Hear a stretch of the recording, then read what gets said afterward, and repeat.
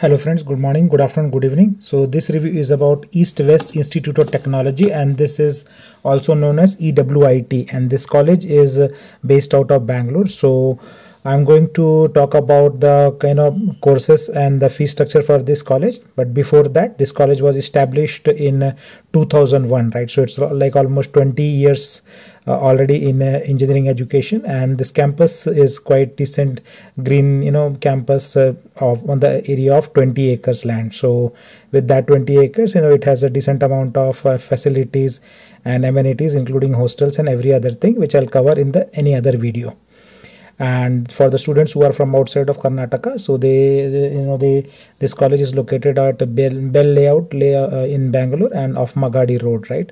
So Anjana Nagar is the place and you can find the address here with the phone numbers and in case you are interested to take any admissions then you can contact the admission uh, email id or the uh, principal email id along with the direct mobile numbers which are mentioned here right?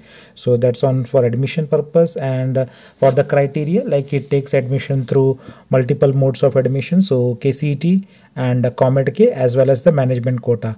So 45% of all seats are filled with KCET and the KCET code is E106 and around 30% of seats are filled through COMEDK and the COMEDK code is uh, A048 E48 right? And uh, then you know management quota you can apply so and so if some students are looking for you know post graduation program then again uh, it is like mta mtech mba and mca programs which are there.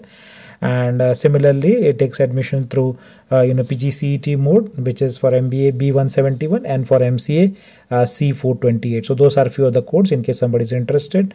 Coming back to the engineering program so they do provide a good number of, of options in engineering and one those courses are like csc computer science engineering information science engineering as standard as other colleges and then ECE electronics and uh, communication engineering and then electrical and electronics engineering triple E what we call. And apart from that they have electrical and electronics engineering separately and mechanical engineering uh, civil engineering and they do now provide two specializations in artificial intelligence with AIDS and AIML so one for data science and the second one for machine learning. So both of them are like similar options. You can take any of them and also they, they have two more specializations like one is for computer science engineering with uh, uh, iot cyber security and blockchain. So this course will be good because it is uh, quite good you know emerging technologies are part of it and a lot of people ask about this.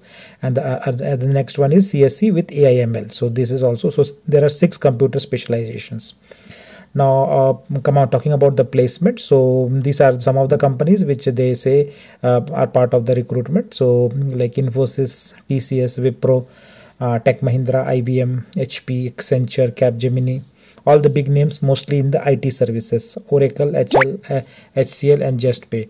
So that shows that you need to only take computer and computer related branches which are there including ece is the right uh, choice right now talking about the fee structure like this is the previous year's fee so you can expect you know maybe 10% hike over this but this is the regular fees so if you go going through KCET mode of admission, the fees was 98 984 rupees, which was at paid at the time of counseling, plus 15,000 you have to pay in the college. So approximately 1 lakh 12,000, 13,000, 13,000 was the fees last year. You can expect it to be in, improving to say 1 lakh 20,000 or 1 lakh 25, 1 lakh 25,000 through KCET mode for all the branches.